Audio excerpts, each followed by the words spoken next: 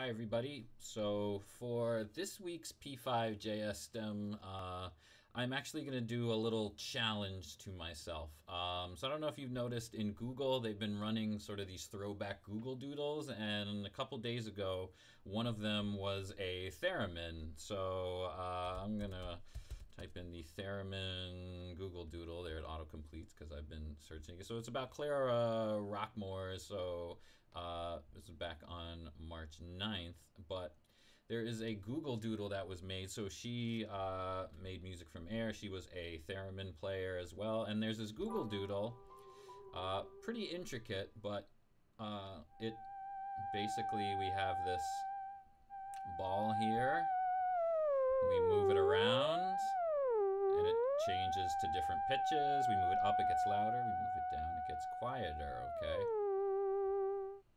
So, um, this sort of idea is something we did a similar project when we made the mouse theremin, but I'm going to try and replicate this a little bit more. So we have this sort of white glowing ball. We have this, well, so this is like a lesson, but I'm not going to add that. So sort of move the ball around. So you can play with that however. But we have these different squares that play different notes. And then we have some text. We have a lighting up of the bar when we get to that. So I'm going to try and recreate all of that in a P5JS sketch, okay? Um, now, this is, I'm going to say in honor of this website, uh, YouTube channel called The Coding Train, uh, which has a lot of great tutorials on P5JS if you're interested in going beyond what I do here. But he does a lot of these things called coding challenges, It's basically trying to recreate tons of different things, okay, which you'll think. So all these different coding challenges here. He's remade the snake game. His name's Dan Shiffman. He teaches at NYU.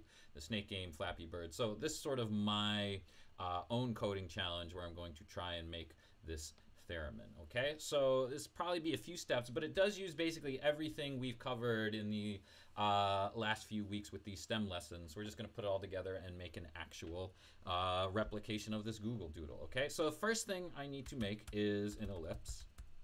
All right, and I want that ellipse to follow the mouse, so I need to give it an X position to mouse X and a Y position to mouse Y. I'm going to say maybe like 40 here, and I'm just going to run it every so often to make sure. Okay, so there I have it. So I'm already off to a good start, okay?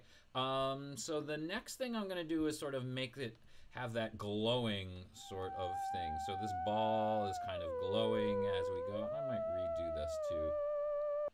So I need to create that sort of glowing outline for the ball that's following around here, okay? So that I'm gonna do with a stroke. So first I'm gonna make sure the fill of this, I'm gonna make it about 240 for my mouse, okay? And then I'm gonna need to have a stroke, which is the outline color, okay? And I'm gonna make that a little brighter, but I'm also gonna give it what's called alpha, which is gonna make it a bit more transparent, because if we refer back to sort of this glowing ball here, we'll see the, see how the circle is very dark, but the outline itself is a bit more translucent there, okay? So that is something with alpha. So if I'm just gonna use grayscale values, if I add one more, that alpha will add a level of transparency to it. And I can do it to this ball here, and we'll see. So you see how you cannot really see the, the circle as well, the ellipse. I could change this to 100 and now you'll see it's a little more. We covered this in another lesson as well, right? But uh, I'm not going to have that for that, just the stroke, okay?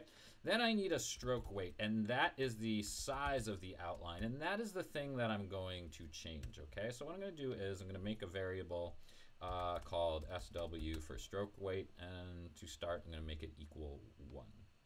Okay, so SW1, all right? But I need it to change as I go um, I need it to sort of get bigger and smaller and bigger and smaller, all right?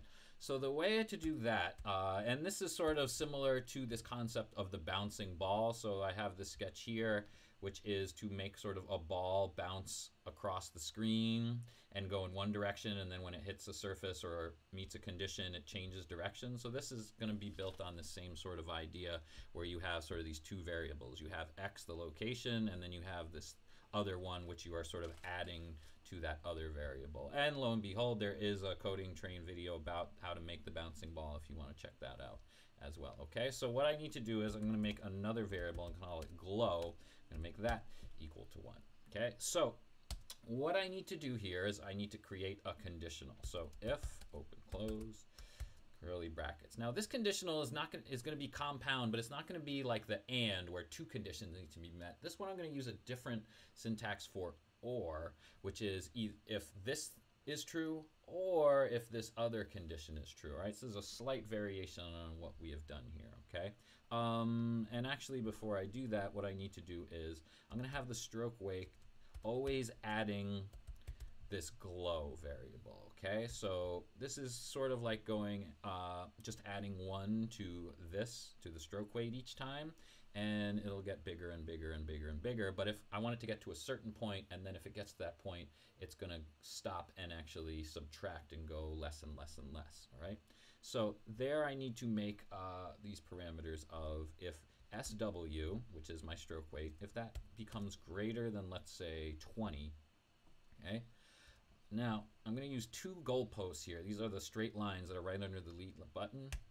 Okay, so, or, uh, that is what these two things mean. So inside a conditional statement, I can say if this condition, and then I add this, or I can make another one. So if SW is less than 1.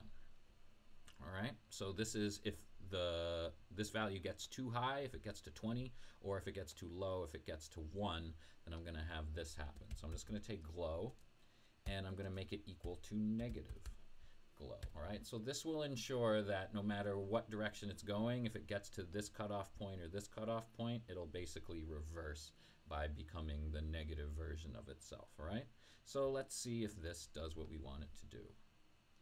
Okay, and there you can see, I'm maybe going to make this background a little darker so we can see it better. All right, so there you have it. So uh, I have my circle, this little glowing background going on. Um, so that is basically happening because uh, if SW is equal to 1, and then I'm just adding 1 and adding 1, but once it gets to 20, it turns 1 for glow into negative 1, and then when you add negative 1 to a number, it's going to get less and less and less. So that's how that effect is working there, okay? So I have my little glowing orb here, so my next step is going to be to add the bars. And I'm going to sort of cut this up into parts just to make it move a little quicker. All right, so the next one we're going to add the bars inside where we're going to have those notes play.